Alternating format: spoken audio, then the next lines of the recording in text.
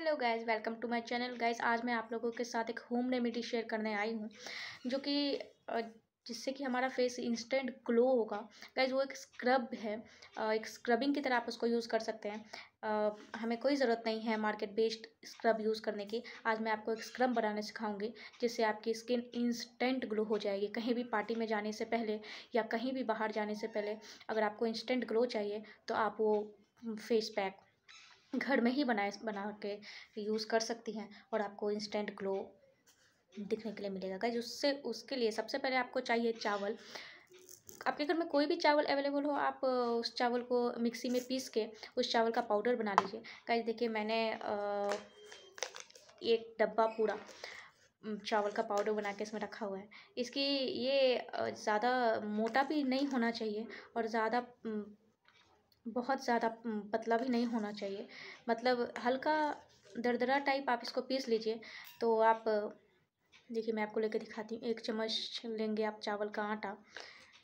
उसमें आप गाइस मिलाएँगे हनी आप हनी मिलाइए।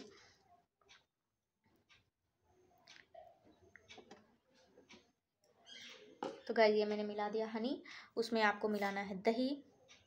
अगर ये ज़्यादा खट्टा हो तो और ज़्यादा अच्छा है। ये इसमें मिला दीजिए दही।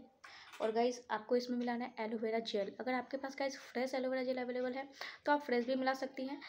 ये ज़्यादा अच्छा रहेगा। और नहीं तो अगर आपके पास जेल है तो आप जेल भी मिला सकती है। मेरे पास दोनों अवेलेबल है, लेकिन मैं इसमें फ़िलहाल जेल ही मिलाती हूँ। तो ये आपने मिला दिया एलोवेरा जेल गाइज़ आप इसमें नींबू का रस भी मिला सकती है, लेकिन नींबू का रस बहुत आदमी का लोगों का स्किन सेंसिटिव होता है तो नींबू का रस बहुत लोग लगाना नहीं चाहते हैं अपनी सेंसिटिव स्किन की वजह से तो ये स्क्रब जो है फॉर ऑल स्किन टाइप है, इसलिए मैं आपको इसमें नींबू का रस को ये स्किप कर रही हूँ। तो देखिए गाइज़ ये बस इतना आसान था डीआईवाई बनाना। गाइज़ इसको आपको अपने फेस पे स्क्रब करना है। धीरे धीरे गाइज़ स्क्रब करिएगा ताकि आपके स्किन को ज़्यादा हार्म ना हो। स्क्रबिंग काफ़ी लोग बहुत ज़ोर ज़ोर से करते हैं, लेकिन आपको बहुत हल्के हल्के हाथ से इसको स्क्रब करना है और गाइस इसको आपको अपने पूरे चेहरे पे लगाना है। मैं आपको बताती हूँ, इसके लिए आप अगर अपने बालों को पहले ही बाँध लें तो ज़्यादा अच्छा रहेगा। जो कि मैंने नहीं किया दिमाग से मेरे निकल गया था। तो गाइस इसको आपको अपने फेस पे स्क्रब कर लीजिए।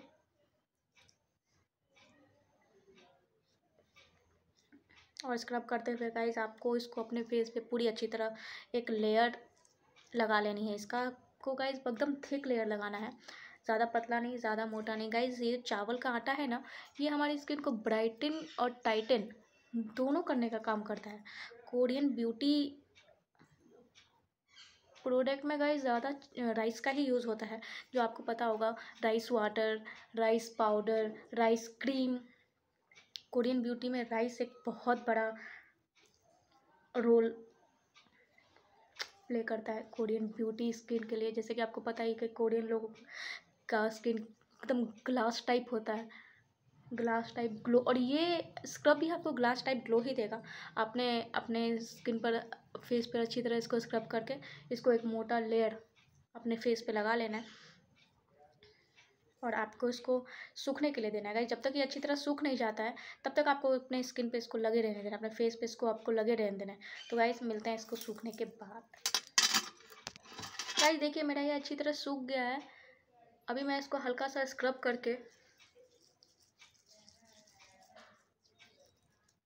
इसको वॉश कर दूँगी।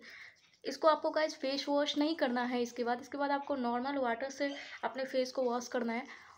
और उसके बाद आपको स्किन लाइक ग्लास ग्लास जैसे चमकता हुआ चेहरा मिलेगा। गाइज़ आपको अपने स्किन फेस पे अच्छी तरह इसको स्क्रब करके उसके बाद आपको नॉर्मल वाटर से वॉश करना है। तो गाइज़ मैं आपको वॉश करके दिखाती हूँ। गाइज़ देखिए, मैंने वॉश कर लिया है और वॉश के बाद आपको दिख रहा होगा मेरी स्किन पे मेरे फेस पे काफ़ी ग्लो आया। आप देख सकते हैं। मुझे काफ़ी अच्छा लगता है ये डीआईवाई और इससे आपको कोई हार्म भी नहीं होगा, क्योंकि ये नेचुरल है होममेड है। कहीं इसके बाद आपको एक अच्छा मॉइस्चराइज़र अपने फेस पे यूज़ कर लेना है। मैं यूज़ करती हूँ एलोवेरा जेल तो आप एलोवेरा जेल को अपने फेस पे अच्छी तरह से मसाज कर लीजिए।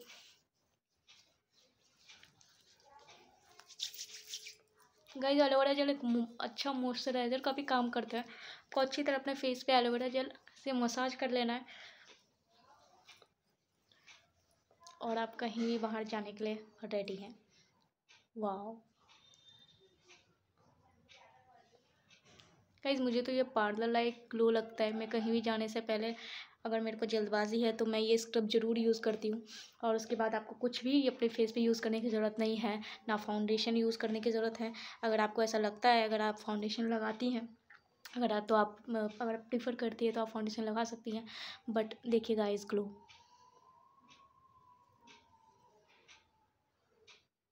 तो वैसे आपको वीडियो कैसा लगा? मैं आपको बोलूँगी कि आप ये डी ज़रूर एक बार इस्तेमाल करिए अपने फेस पे और अपना रिज़ल्ट मेरे साथ शेयर करिए। गाइज़ अगर आपने मेरे चैनल को अभी तक सब्सक्राइब नहीं किया तो सब्सक्राइब करिए बेल आइकन दबाइए और मेरे वीडियो को लाइक करिए और दोस्तों के साथ सब फॉलो करिए, दोस्तों के साथ शेयर करिए। Guys thank you